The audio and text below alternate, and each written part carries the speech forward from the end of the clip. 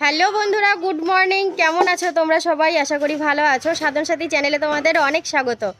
দেখো, এত বৃষ্টি হয়েছে যে ইটে জল দিয়ে কিন্তু আর ভিজাতে হয়নি। যাক একদিকে ভালো হয়েছে। আর সব থেকে বড় কাজ হচ্ছে ঘরের প্রচুর পিঁপড়ে হয়েছে, সেই পিঁপড়ের সমস্যার সমাধান করা, ঘরে পা রাখা যাচ্ছে না। আর ঘরে যে সমস্ত জারগুলো তোলা আছে, ওগুলো বের করব। ঘরটা পরিষ্কার করব। আর প্রচুর কাঁচা বাকি আছে, কারণ কালকে আমি একদম কাচতে পারিনি। আজকে কাচবো, কিন্তু কাচবো যে মেলার জায়গা নেই, জানো? এখানে একটা তার ছিল, তার ফাঁকা। আচ্ছা এদিকে বেড়াই মেলতাম রাস্তার ধারের বেড়া ফাঁকা। এইদিকে একটা বেড়া ছিল, ইটের অপিটে ওই দিকের বেড়া যাওয়া যাবে না ইট আছে। শুধু মেলার মতো ওই তারটা। আর তাছাড়া সব কারেন্টের তার এদিক ওদিক। তাহলে আমি কোথায় এত জামা কাপড় মেলবো কেচে? এটা এখন সমস্যা। ও বা ননদা কাচ্ছে আমাকেও কাচতে হবে। ধরো দুজনার জামা কাপড় অনেক হবে। আর মাথায় এত তেল দিয়েছি মনে হচ্ছে যেন যে মানে স্নান করে ওঠার মতো। কালকেই তো মাথায় তেল দেওয়া হয়েছে দেখেছ তোমরা? কি শোনা? হ্যাঁ জল পড়ছে। মোটরটা চালাচ্ছে পাইপে জল আটকে রয়েছে তাই বলছে জল পড়ছে। দেখো আমার সোনা চলে এসছে। সোনা তুমি কার সাথে এসছো বাবা? মেসোমশাই সরি পিসে মশাইকে বাপি তো নাম দিয়ে বাপি বলে ডাকতো। দিয়ে বাপি না মশাই শেখানো হয়েছে। আর চিপস কে কিনে দিল? পিচ্ছি পিচ্ছি ঘর করতে গিয়ে এমন কিছু কিছু সমস্যার সম্মুখীন হয়েছি। এখন মনে হচ্ছে যে মানে ঘর করতে করতে আমাদের বড় না বিপদ ঘটে যায়। ঠিক আছে? তো ভালো লাগছে না, অনেকটাই চিন্তার বিষয়। দেখো ওই খাটের ওপর যে ফ্যানটা না, একদম নিচে। কোনো লম্বা মানুষ যদি এসে নিচ থেকে দাঁড়ায়, প্রথমত তার মাথায় ঠেকে যাবে আর দ্বিতীয়ত যে মোটরটা বসানো হয়েছে, মোটরের আর কি যে লাইনটা, ওটা তো রুম করা হয়নি। একটা কিছু ঘেরও দেয়া নেই, এবার কালকে বৃষ্টি হয়েছে, তো ভয় লাগছে ভীষণ। ওই জায়গাটার একটা ব্যবস্থা করতে হবে, আর ইচ্ছা আছে এই ফ্যানটা খুলবো। এই ফ্যানটা খুলে রাজু যেখানে শুয়েছে, ওখানে দেবো। আর একটা স্ট্যান্ড ফ্যান আছে আমার ননদের বাড়ি, বড় ননদের বাড়ি, ওটা এনে এদেরকে দেবো। আর এখানেও একটা ফ্যান টাঙানো আছে, ছোট টেবিল ফ্যান। এটা যেমন থাকার তেমন থাকবে। নাহলে আমার না এই এই কারেন্ট বলো, ইলেকট্রিকের জিনিস বলো, আমার এত ভয়, ভীষণ ভয় লাগে। আর দেয়ালের ফাঁক ফোকরগুলো এটা ওটা দিয়ে গোজার চেষ্টা করা হয়েছে। ওদেরকে একটা বিছানার চাদর দিয়ে দিয়েছে, কারণ ওই ওই ধারটা না মানে আমরা কম থাকি তো মানে আবর্জনা জঙ্গলটাই বেশি। তাও তো এখন পরিষ্কার করেছে মা গরু টরু আছে ওইদিকে, কোনো অসুবিধা নেই, এরা থাকবে। ফাঁক ফোকর দিয়ে পোকামাকড়ের ভয় না, বলো বর্ষাকাল। এখন পাইপ নিয়ে টানাটানি চলছে, অনেকগুলো জামা কাপড় ভিজিয়েছে, কাঁচা হবে। ওর কাঁচা হলে তারপর আমিও কাচবো। যদি পাইপটায় মোটরটা লাগাই তাহলে আমি ওর পাশে বসে কেচে নেব, অসুবিধা হবে না। আজকে কাঁচা আম দিয়ে খুব সুন্দর একটা মেনু তৈরি হবে, রুই মাছের টক, কাঁচা আম দিয়ে। আর মা বাজার থেকে যা আনবে, তাই রান্না হবে। মনে হয় যেন মাংসই হতে পারে। নয় তো মাছ অন্য কোনো মাছ। তো যাই হোক, ও কাচ্ছে, আমিও গিয়ে ওখানে কাঁচা শুরু করব। আগে কেচে টেচে স্নান করে তারপর রান্না বসাবো। কাচাকুচি কমপ্লিট দেখো। কিন্তু এখন মেলার সমস্যা তো ভাবছি, জায়ের ছাদে যাব। এগুলো তো শুকিয়ে মেলতে হবে না। গাড়ি স্নান করছে। এই গাড়ির জন্য কাল আমার লাইফে প্রথমবার থানায় যেতে হয়েছে। ভাবলে হাসি পাচ্ছে জীবনে প্রথমবার থানায় গেছি তাও গাড়ির জন্য। কি হয়েছে? খেয়ে নাও। ওই তো একাকিত্ব বোধ করছে। এটাই স্বাভাবিক। যাই, ওকে খেতে দিই। বাজার চলে এসছে। বাজার দেখাবো। কিন্তু সত্যি কথা বলতে কি আমার নিজেকে খুব বড় স্বার্থপর আর অপরাধী বলে মনে হচ্ছে। আমি আমার মানুষ, বাড়ির মানুষগুলোকে বুঝিয়ে পারছি না যে তোমরা ওই ঘরটায় যাও ওই ঘরটায় গিয়ে শোও। সেই একটা ঘরে গ্যাদামেদি করে রয়েছে। কালকে রাত্রে বাবা পড়ে গেছে আমার ননদের হাঁটুটার ওপর। বাবার শরীরের পুরো প্রেশারটা পড়েছে, হাঁটুটা ফুলে গেছে। বাবা উঠতে গিয়ে নোকের আচর টাচর লেগেছে দেখো, ভাত বসিয়েছে এখানে। এই যে। নিজেকে অনেক বড় অপরাধী লাগছে, অনেক স্বার্থপর লাগছে। মনে হচ্ছে আমার মতো স্বার্থপর দুনিয়ায় দুটো নেই। ওই দেখো দুটো খাটের মাঝখানে যে ফাঁকা জায়গাটা দেখছ, ওখানে না, ওখানটায় না, এইখানটায় করে মনে হয় সই এই যে এই ফাঁকটায়, দুজন সই কবে যে ঘরটা হবে, আমার শুধু মনে হচ্ছে যদি সে হাততালি দিয়ে জাদুর মানে জাদু যখন হয়, হাততালি দিয়ে অনেক কিছু হয়ে যায় না, তো এরকম হাততালি দিয়ে যদি হয়ে যেত, এরা অন্তত কষ্টটা কম ভোগ করতো। এখন ঝাড়াঝুড়ির পর্ব চলছে, যেহেতু এই জায়গাটায় ও শোয়, কালকে রাত্রে রাজুর গায়ে মাকড়সা পড়েছে, ওই জন্য ঝুলগুলো ঝেড়ে দিচ্ছে। কালকের দিনটা আমার খুব আরামের সাথেই কেটেছে, কারণ ননদ ছিল, ও অনেকটা করে দিয়েছে রান্নাবান্না, টুকটাক। তো আবার দুপুরের দিকে ধরো বাড়ির বাইরেও গেছিলাম, তোমরা তো জানোই, কত ভিডিও দেখে বুঝতে পেরেছ। তো আজকে পুরো লেজে গোবরের অবস্থা, এখনও বাসন পড়ে আছে, দুপুরে খাইনি। আর এই দুদিন ধরে তো দুপুরে আমরা একসাথে খেতে পারছি না। ও খেয়ে বেরিয়ে যাচ্ছে কাজের চাপে। আমার রান্না থাকছে দিয়ে পরে খাচ্ছি। আর খেতে কিন্তু বেশ আমার মজাই লাগছে। আমি ভাবছি বাসন কটা মেজে ফ্রি হয়ে খাব। কি বলছো? বৃষ্টিতে ভিজে ভিজে খাচ্ছ আর বলছো? ঘর ভাঙার পর এমন পরিস্থিতি হয়েছে ঘরে আমার খাওয়ার জায়গা নেই। বাড়ির সবাই মিলে উঠোনে নামিয়ে দিল বলল উঠোনে খাও বৃষ্টিটা ভেজে তাই খাও। তাই তো মা? মা বলবে অনেকদিন ধরেই মারবো মারবো বলছি মারতে পারছি না। একদিন ওকে গুছিয়ে মারবো। ওর উল্টো পাল্টা কথা বলা বের করব। তোমার তো ঠান্ডা লেগে যাবে। বৃষ্টির জল খাওয়া দাওয়ার পর বৃষ্টিতে ভিজেই যেমন খেয়েছি ভিজেই তেমন স্নানটা সেরেছি। একটু ঘরে ছিলাম কিন্তু বৃষ্টি এখনও খুব অল্প অল্প পড়ছে। না থাক জুতোটা পায়ে দেবো না খালি পায়েই যাই। আমার ননদ বলছে যে গরুর ওখানে টিনটা নাকি পড়ে গেছিল দিয়ে আবার ঠিক করেছে। বাবা তুমি বাইরে বসে কেন? কেন? বৃষ্টি পড়ছে তো। কি অবস্থা? আমার বাবা না অল টাইম যেন তো শুধু বৃষ্টিতে ভেজার সব সময় মতলব আর গায়ে জল দেওয়ার মতলব মানে গরম বেশি। আমি তার মেয়ে হয়ে কি করে এরকম হলাম কি জানি? শীত ফিত বেশি লাগে গরম লাগে না একদম। এ দেখো লোটটা কম্বল বালতি ফালতি বস্তা টাপলি টোপলা বুচকা বুচকি কত বাইরে দেখেছ? আর এই টিনটা নাকি খুলে গেছিল আবার বাঁধলো পাশের বাড়ি থেকে মই নিয়ে এসছে। মই নিয়ে এসে টিন বাঁধলো গরুটাকে এখন এখানে রাখেনি। ওকে এইদিকে রেখেছে। দেখো গরুটাকে এখন এইদিকে রেখেছে। আর দেখো জলগুলো এখন এখানে রেখেছে, এখান থেকে নিয়ে নিয়ে টলিতে তুলে তারপরে দিচ্ছে বাড়ি বাড়ি। বৃষ্টি পড়ছে বেশ ভালোই, ঘরে উঠে যায়, বলো? ঠান্ডা মান্ডা লেগে গেলে অসুবিধা, এমনি এখন কাজের চাপ বেশি। ফালতু নিজের দেশে শরীর খারাপ করে লাভ নেই। গরুকে খেতে দিয়ে আসলাম, সন্ধ্যে হতে এখনও বেশ কিছুটা টাইম আছে, তো টাইম নষ্ট নয়। একদম শুয়ে থেকে নষ্ট নয়। যেন জ্ঞান দিচ্ছি। শুয়ে থেকে আমি অনেক সময় নষ্ট করি, মাঝে মধ্যে যখনই ফাঁক ফোকর পাই শুয়ে পড়ি। আর আমার ইচ্ছে ছিল যে আমি এই জায়গাটায় শর্ট ভিডিও করব। এই যে, এই আর কি দেয়ালটার পাশে বসে রাজুর এই চকিটায়। এত সুন্দর মানে মুখের ওপর আলোটা পড়ে না, দারুণ দারুণ।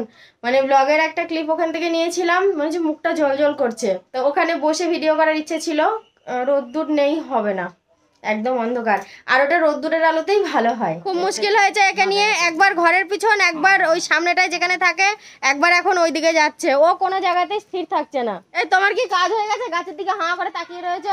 বললাম বলে দাঁত বের করে হেসে দিল। আর ওইখানে দেখো বৈঠক বসেছে। আমার মাতৃজননী ঘুমটা দিয়ে ফেলেছে।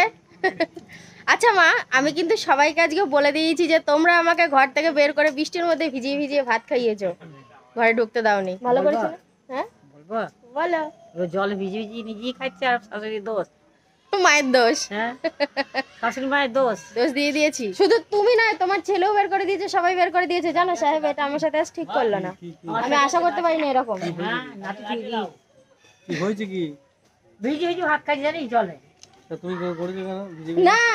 আমাকে বের করে দিল বলল ঘর দৌড় ভেঙেছি ঘরে জায়গা নেই তুমি বাইরে টেবিল পেতে দিয়েছ ওখানে বসে ভাত খাও পারে না কাকু বলবে না তুমি বলবে না। তুমি ঢপ মারছো গ্যারেন্টি আর নিশ্চয়ই তুমি জলে ভিজে খাওয়া করছিলে আমি তোমাকে জানি। ওই দেখো। ওই কারণে হয়তো বলেছি ঘর থেকে নেমে যাও। সেটা না। মা পাঁচ টাকা আর ওই যে ও পাঁচ টাকা সাহেবকে দিয়েছে ওই জন্য ওদের হয়ে কথা বলছে। পাঁচ টাকা দিয়েছে ঠিক আছে আমি ঘুষ খেয়েছি। কালকে লুডো খেলাম যে পাঁচ টাকা জিতলাম। হ্যাঁ। টাকাটা দাও দিয়ে আমার হাতে মাকে সকালে বলেছি লুডো খেলা পাঁচ টাকা হেরেছি। বলিনি তখন। হ্যাঁ। আমি দু ওকে এরকম হাতে দিয়ে ও বাবারে এই জিতেছো? আমি দু দুবার জিতেছি দু দু দুবার জিতেছে ওদের সাহেব ঠিক আছে? এবার- এবার চুল টুল উল্টে। রকি করে জিতেছি। এবার রাজু আমাকে আপ্রাণ চেষ্টা করছিল সবাই লাস্ট করবে। বেচারা পারিনি। আমার বৌমা এক টাকা পেলি কার সঙ্গে? পঞ্চাশ বার চাবে। কিলো করেছে। টাকার হিসাব রাখা ভালো। হ্যাঁ। পঞ্চাশ না, টাকা এক টাকাও একশো টাকা এক- এক- এক টাকা একশো টাকা নিয়ে একশো টাকা ঠিক আছে? আবার হিসেব করে ঠিক দেবে কার কাছে কি পাবো। ওটা ভালো ওটা খুব ভালো। হিসেব না হ্যাঁ ওটা খুব মা সত্যি কথা বলে দিয়েছে কিন্তু। ওই ছেলে পিলেরা সব বলে যে আগে একটা টাকা দাও না আমাদের খুব দরকার। দু টাকা। বলবে দু টাকা চাই। আমি দু টাকাটাও পড়েনি। ও মা এটা বলো যে আমার কাছে কেউ যদি দুটো টাকাও পায় আমি তাকে মনে করে দিয়ে দিই সেটাও তো? দেয় তো। হ্যাঁ। দোকান নিয়ে আসে দোকানে যদি দু টাকাও জিনিস নিয়ে আসে মনে করে আবার দিয়ে আসবে। এটা খুব ভালো যে বলুক বলবে তোমাদের বৌমা যাই মনে করুক খুব তোমাদের বৌমা এক পক্ষে ভালো ভুল করে অনেকে অনেক কিছু ভাবতে পারে। এইটা বল। এটা ঠিক এটা খুব সত্যি কথা জানি না এই বিষয়ে কে আমায় খারাপ ভাববে ভালো ভাববে। আমি যদি কারোর কাছে কেউ যদি আমার থেকে দুটো টাকা ধার নেয় ধার ধার ধয়াকার বয়সনরা যদি হয় তাহলে আমি নেব। আর যদি আমি নিজের থেকে দিই না এই টাকাটা আমি তাকে দিলাম সেটা নেব না। কিন্তু ধার যদি একটা টাকাও হয় সেটাও আমি নেব তাই তো মা? এটা সঠিক তো? মা সত্যি কথা বলে দিয়েছে বলে ওদিক থেকে ভীষণ খুশি দেখি সব হাসছে বলার পরেই যেই বলেছে আমার বৌমা দুটো টাকাও ছাড়ে না কাউরির। একটা টাকার মূল্য আমার কাছে অনেক আমি আগেও বলেছি আবার বলছি। নিরানব্বই টাকার পিছনে এক টাকা দিলে তবে একশো টাকা পূরণ হয় কিন্তু। এক টাকার মূল্যও অনেক। মাছ চলে এসছে। দেখি আজ কি মাছ পেল। এই বড় মাছ পেয়েছে তো। তুললো তুললো। আমার হাত থেকে পড়ে গেলে কুকুরে খেয়ে নেবে। বাটা রাগ বাটা এটা রাগ বাটাই বলে রাজ না। আর পেয়েছ? আবার কটা পুটিও আছে তো। তুমি কড়াই তেলটা কখন ঢালবা? এটা খেতে পারবি? একটা কমেন্ট আমার খুব হাসি পেয়েছে পরশু দিন মনে আছে ডিম ভাজছিলে? আরে লেপের মতো খুলেছিল দিয়ে একজন লিখেছে যে তোমার ননদ একটা ডিম ভাজতে ওখানে দুটো ডিম ছিল যাই হোক। অতটা তেল দিয়েছে হসপিটালে একটা সিট বুক করো গা। আগের ভিডিওতে তুই একটা ব্যালেন্সের খেলা দেখিয়েছিলি মনে আছে? কি দিয়ে বলতো? টায়ার দিয়ে। সবাই কিন্তু খুব খুশি হয়েছে। হাসিটা দেখো। ওরে বাবা রে এ লজ্জা পাচ্ছে। সোহিনী নিজে চুল বেঁধে কাকে চুল বেঁধে দিচ্ছিস সোহিনী? মামিকে। মামিকে। কি ভালো লাগছে। আর সোহিনীর মা দেখো পাপড় ভাজা দিয়ে গেল। ঠোঙায় করে। প্রথমে ঠোঙায় করে যখন দিয়ে গেল ভাবলাম কি সোহিনীর হয়তো বারো ভাজা হবে। বুঝলি সোহিনী? দিয়ে দেখি পাপড়। ভাবলাম তোর জন্য বারো ভাজা কিনে এনেছে তোর মা। দিয়ে দেখি আমার হাতে দিয়ে গেল পাপড় নে সোহিনী খা। একটা ডিম ভাজা হচ্ছে এখন হয়ে গেল ডিমের অমলেট তৈরি। রাত কিন্তু বেশ হয়েছে আর আমি একটা খাবার জিনিস তৈরি করছি অবশ্যই দেখাবো। আর তার আগে বলে দিচ্ছি আমি গামছাটা পরেই তোমাদের সামনে চলে আসলাম। আমি না এরকমই মানে একটা ওড়না আর কি কেচে দিয়েছি শুকায়নি আর আর একটা ওড়না ছিল কোথায় যে রাখলাম আর পাচ্ছি না। দিয়ে যাই হোক হাতের কাছে গামছা পেলাম ওইটাই নিয়ে নিলাম এরমই করি আমি। ওটা ভাজা হয়ে গেছে এখানে দুধ আছে দুধের মধ্যে দিয়ে দেবো। চলে এসো, বা স্নান করবে দুধে। একটু কড়া কড়া করে ভেজে ফেলেছি, দেখো লাল লাল হয়ে গেছে। রাত হলো না, সকাল হলো বুঝতে পারছ না বলো? জামা কাপড় চুপাচ্ছি, এগুলো তো আমি সকালে করে থাকি। না, রাতেও করি। এক একদিন আমি রাত্রেবেলা ভিজিয়ে থুই, রাত্রেবেলা ভিজিয়ে তুলে সকালবেলা খুব ভালো পরিষ্কার হয়। আর কাজটাও কমে যায় সকালের। এমনি যে সমস্ত বাড়তি বাসন ছিল, সিমুই করেছিলাম ওই সমস্ত খাওয়ার বাটি বাটি সব কলতলায় গিয়ে ধুয়ে নিয়ে এসেছি। আর এই যে তোমার দাদা কাজের প্যান এখন ভিজিয়ে রাখলে কালকে ভিজাতে হবে না। আর কালকে ইচ্ছা আছে আমার মশারি, তারপরে বালিশ কভার, ওই বিছানার চাদর, এগুলো সমস্তটাই কাচবো। বর্ষাকালে দেখবে কেমন একটা লাগে, কেমন একটা ভাব লাগে না? কেমন একটা স্যাঁতস্যাঁতে, চারিদিক ঘর দুয়ারও স্যাঁত স্যাঁত স্যাঁত স্যাঁত করে। আর ওই দেখো, ওখানে আমি ভাত বসিয়ে দিয়েছি ডিম ভাজা করলাম। আমি ডিম ভাজা খাব না, রাজুর জন্য করলাম। আর ওর মামা যখন অনেক রাতে ভাত খাবে, তখন ভেজে নেবে। তোমরা একটু লক্ষ্য করেছ কি, আমার ব্লগে প্রায় হ্যাঁ পাঁচ, ছ দিন ধরে তোমরা বিচুলি কাটার কথাও শুনতে পাচ্ছ না আমার মুখে আর বিচুলি কুচানোও দেখতে পাচ্ছ না। কি করে দেখবে? আমি তো বিচুলি কাটার টাইম পাচ্ছি না। মানে বৃষ্টির জলে বিচুলিগুলো ভিজে এমন অবস্থা হয়েছে, বাড়ির একদম সাইডে তলায় টিন পেতে তার উপর বিচুলি রেখে তার উপর তিরপল জমা মানে চাপা দেওয়া হয়েছে। কালকে ওখান থেকে এনে প্রথমে বিচুলিগুলো একটু রোদ্দুরে দিতে হবে, যদি রোদ ওঠে তারপরে কুচাবো। সে মনে আছে গোয়ালে কুচিয়ে গাদা করে রেখেছিলাম, সেগুলো এখন খাচ্ছে। দুধ দিয়ে তো সিমুই খেয়ে নিয়েছি, আর তো ভাত খেতে পারবে না।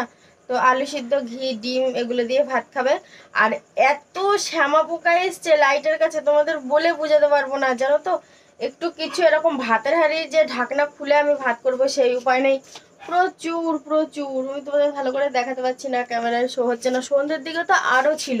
এখন অনেকটা রাত হয়েছে, বুঝতে পারা যাচ্ছে না। তিন চার দিন আগেও এরকম গাদা গাদা শ্যামা পোকা উঠেছিল। শ্যামা পোকার জন্য একটা বাটিতে তেল ছিল, রান্নার ভিডিও করে রেখেছিলাম। তেলটা নষ্ট হয়ে গেছে। তেলটা ঢাকা দিয়েছি, একটুখানি ফাঁক ছিল, সামান্য এক ইঞ্চির সেটা দিয়ে পর্যন্ত ঢুকে পড়েছে, জানো? তো যাই হোক বন্ধুরা, খাওয়া দাওয়া করে ঘুমিয়ে যাব। তাহলে আজকের ভিডিওটা আমি এখানেই শেষ করলাম। তোমরা সবাই খুব ভালো থেকো, সুস্থ থেকো। দেখা হচ্ছে আবার কাল সকাল থেকে।